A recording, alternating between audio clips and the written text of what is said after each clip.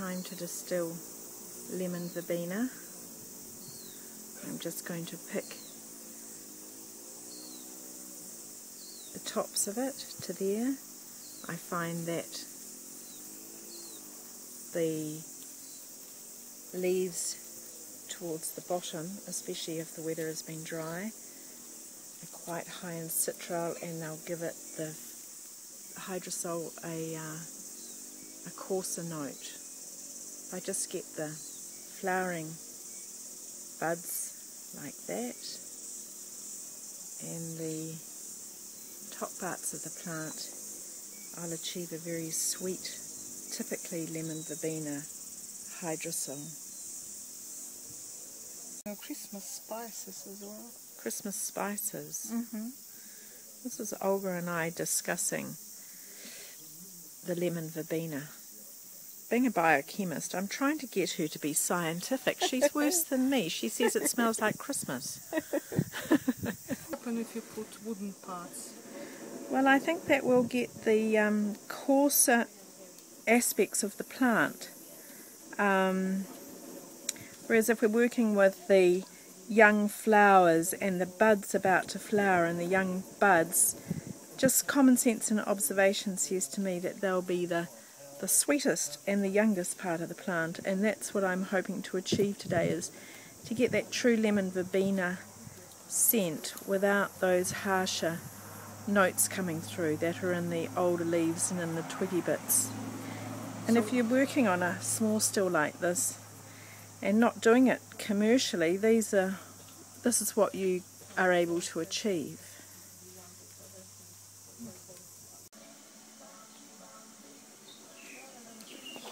Olga and I have stripped, now stripped um, the lemon verbena leaves and flowers off and it's just nice and loose in the column there because I really want the steam to be able to spiral through it and get really good contact with the surface area. So I'd sooner do several columns to use up what's in my basket and to get a really nice quality result.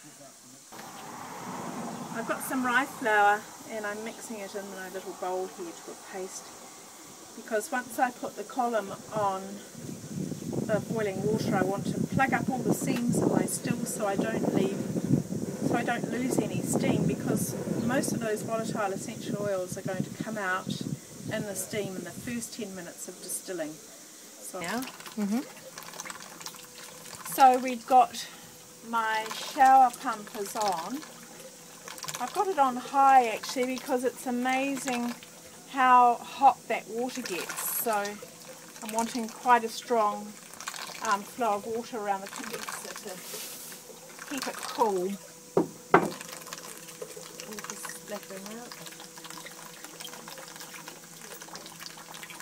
Now I'm going to place the column on top of the boiling water. Quickly place the onion dome on before I lose my steam. Attach my bird's neck, swan neck, to here. Tighten everything up.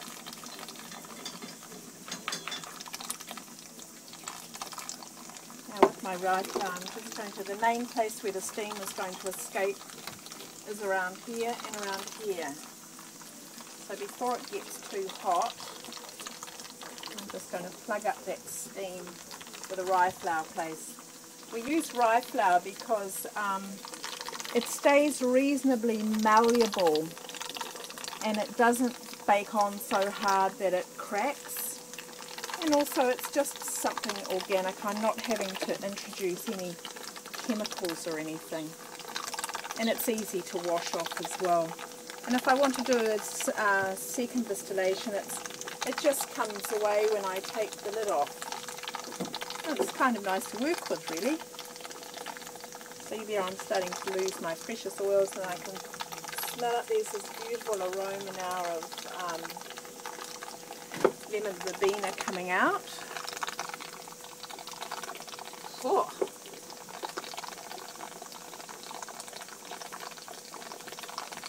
keeping those plugged in as much as possible because I'm not really distilling for essential oil. I'm going to turn the heat down as well.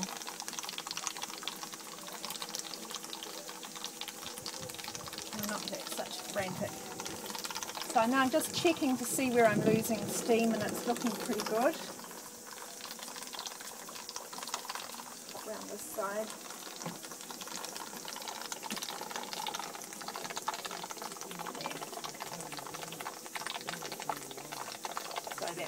Nicely plugged up. Now I can tell where the steam is, my temperature gauge, by touching it. So it's about here at the moment, so I'd better get my beaker ready because the distillates will start coming out very shortly. Yes, that part there is hot, so it's going to be coming down any minute. Wash the rye flour off my hands. Are, it's starting to flow out now. Make sure I catch those first few precious drops. Now, who says lemon verbena doesn't produce much oil? Man, that's a big wodge of oil there. So that's my 25 mils. So now Olga and I will test the pH of that. You can see how the hydrosol is very cloudy. So in a few days that cloudiness will settle in um, all the different um, components and that will sort of settle down and separate out. But that's that's amazing. Wow. Little pH reader here. So I've got about 50 mils of hydrosol and I'm going to take a pH reading on my hydrosol at 50 mils. I put the um, pH reader into the beaker and just let it stabilise.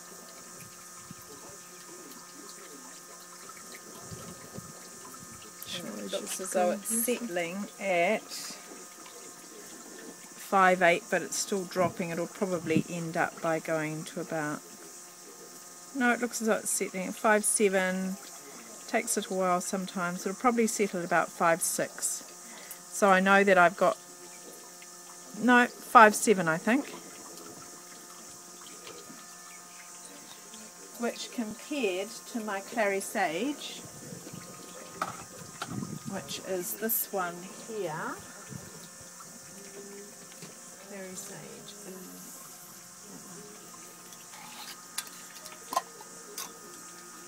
Oh no, it's not. That's eucalyptus.